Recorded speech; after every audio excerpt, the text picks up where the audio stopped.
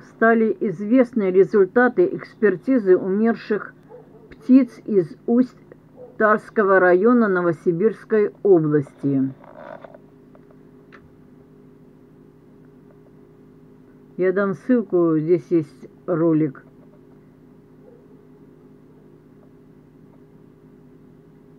Инфекция у птиц не обнаружена. Исследование продолжается. И тут говорится, что, по словам Серебряка, сейчас проходит токсикологическая экспертиза. После нее будет понятно, от чего конкретно умерли грачи. Вот такая картина, ужасная, жуткая.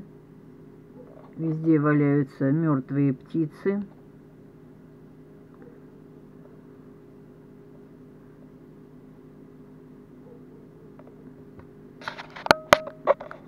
Тут говорится о том, что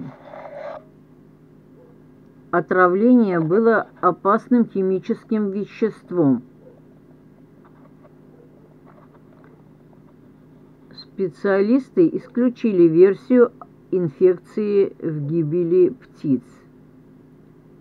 Убивший ворон препарат пока неизвестен, но идут экспертизы. Так что птицы погибли. Жуткая картина. Подписывайтесь на мой канал, пишите комментарии, будете в курсе событий, что происходит в нашей стране.